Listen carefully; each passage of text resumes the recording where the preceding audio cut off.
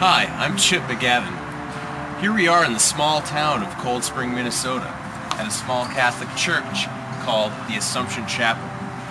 It is not difficult to understand why this beautiful spot was chosen for a place of worship. When walking these grounds, one cannot help but feel a sense of tranquility. However, the reason for this chapel's existence is anything but tranquil. Fact, it was created following a period of great hardship for the people of Cold Spring and the state of Minnesota in general, especially the farmers.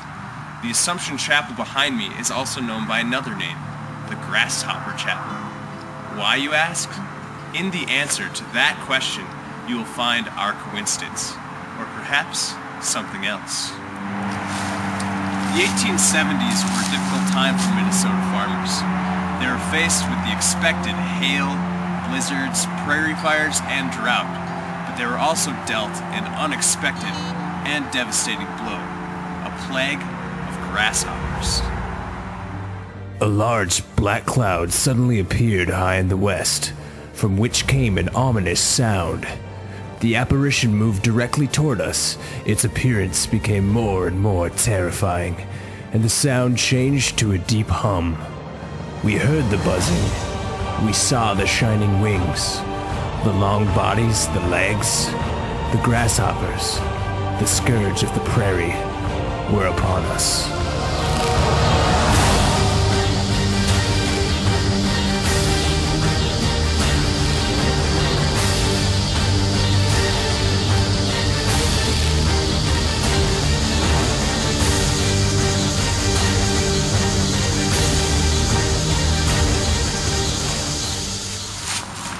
Grasshoppers, or Rocky Mountain locusts, found their way to Minnesota in 1873, but were also making themselves comfortable in Kansas, Nebraska, the Dakotas, and other states. Upon arrival, they would devour any vegetation.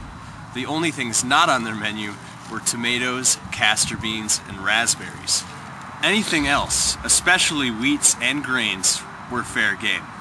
To put things into perspective, they were capable of eating up to one ton of alfalfa per day for each 40 acres that was infested.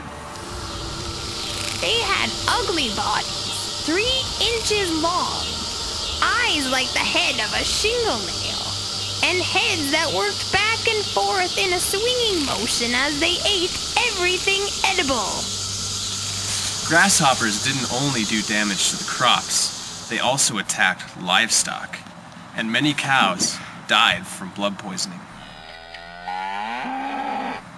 There were even reported cases of the grasshoppers devouring entire items of clothing.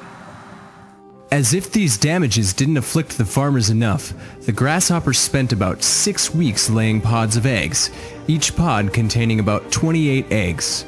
The farmers spent the cold winter fearfully waiting the devastating cycle of the grasshopper to begin again. And begin it did.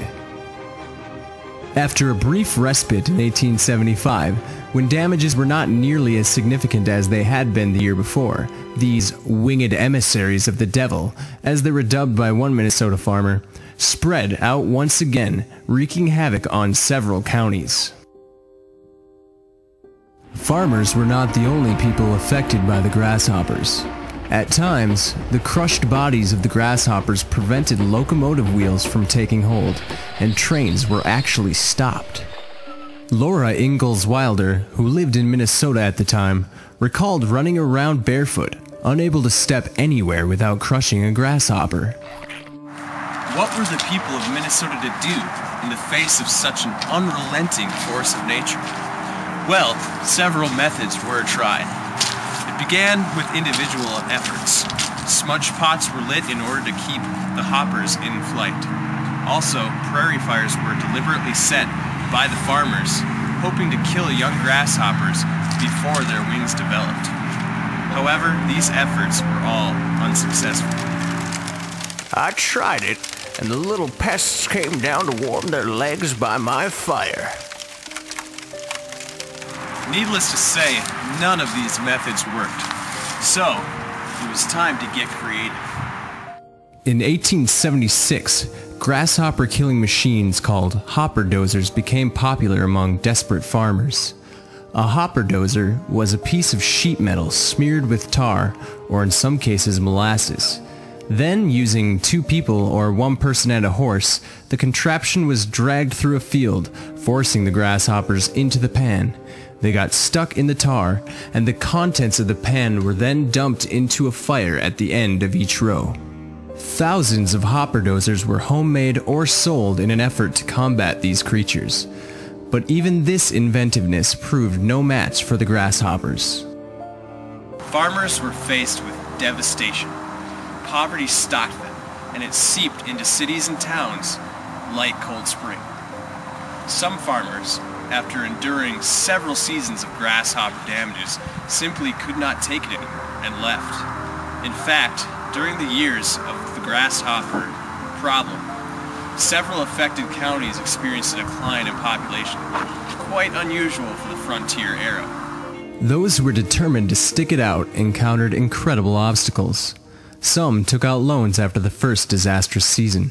Then, when damages persisted, thousands of farmers were left with debts they had no way of paying. Desperation forced many to mortgage their property. Others tried selling property, livestock, horses, etc. In some families, men left during the difficult winter to find seasonal employment. To many, it seemed hopeless. Hoppers eat everything but the mortgage. Some farmers threatened the very livelihood of the growing state of Minnesota by stating their intentions to leave altogether. The fact seems to be that there are numerous farmers in our country whom bleak-eyed starvation look right square in the face. If no help is extended to them, they must and will leave. The bottom line is this. The farmers of Minnesota needed help. Naturally, they turned to the state. Unfortunately, there was a somewhat distrustful attitude that existed among many legislators and members of society in general of these struggling farmers. Those who turned to the state for help were frequently considered paupers who relied too heavily on the government for assistance. Some leaders, like General Henry Sibley, made admirable efforts to assist those who were devastated by the plague. He recognized the fact that these farmers were faced with a natural disaster beyond their control, and they truly needed temporary help, or the state itself would suffer when farmers fled. Though Sibley made valiant efforts at getting legislature passed that would give aid to farmers, state relief efforts were largely ineffective. John Pillsbury, who became governor of Minnesota in 1876, held the belief that giving out money would undermine the pride and self-respect of the farmers. He feared the farmers would become dependent on the state. The demoralization of a class fully capable of self-support becomes thus inevitable. Pillsbury encouraged relief by providing information to the farmers on how best to handle the grasshoppers, such as an extensive list of extermination strategies. Even if this failed, the farmers could take comfort in the fact that they had made a valiant effort on their own at fighting the hoppers. Relief efforts, needless to say, did not provide a great deal of relief. What more could be done? Well, in April 1877, with the grasshopper fledglings preparing to emerge from their eggs, Governor Pillsbury called for a day of prayer in Minnesota to be held on April 26, 1877. Let us pray for deliverance from an affliction which robs the earth of her bounties, and in behalf therefrom let us plead for comfort to the sorrowful, healing for the sick, succor for the perishing, and lodge of faith and love for all who are heavily laden. After four years of being ravaged by the grasshoppers, this day of prayer represented to many Minnesotans a final hope. To some, however, it was not the answer they were quite looking for. Some, like the Liberal League of Minnesota, thought it was a ridiculous idea. We hold that this belief in prayer is palpably untrue, its influence pernicious, and at this day a marked discredit to the intelligence of Minnesota. While skepticism did surround the idea, one man saw not only hope in it, but an opportunity to inspire his community into remembering God, who he felt had been forgotten. The area around the village of Cold Spring had been settled by German Catholics, many who had fled Germany due to famine, industrialization, and religious persecution. One of the pastors in the area was Father Leo Winter. Father Leo believed strongly in the power of prayer. He viewed the wretched plague as punishment from above for becoming too self-sufficient and denying the need for God's intervention. Father Leo and his parishioners made a promise to the Virgin Mary. If she would finally free them from the destructive grasshoppers, they vowed to build a chapel in her honor where they would give thanks every Saturday for her divine intervention. On April 26, 1877, the day of prayer was observed. Later that night, a storm came, rain began to fall, and that rain turned to snow, and a blizzard raged for two days. When the storm was over, most of the eggs were destroyed, and the remaining grasshoppers, they soon flew away, never to return. Skeptics claimed that the locusts simply got bored and flew away. Even entomologists were unable to give a satisfying explanation. The hoppers just moved on. Ah, sometimes I grow so tired.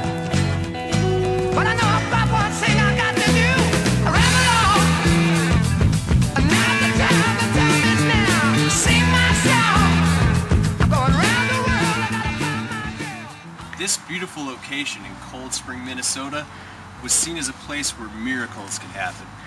People made pilgrimages from all over to this here Mary's Hill, a place they believed held the power to answer their prayers. One pioneer family, the Hansons, brought their gravely ill son to the chapel in hopes of such a miracle.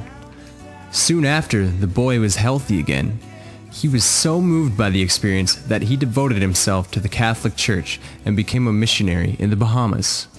17 years after the chapel's construction, a tornado swept through this area and destroyed it. Nothing survived. Nothing. That is, but this hand-carved wooden statue of Mary and her child.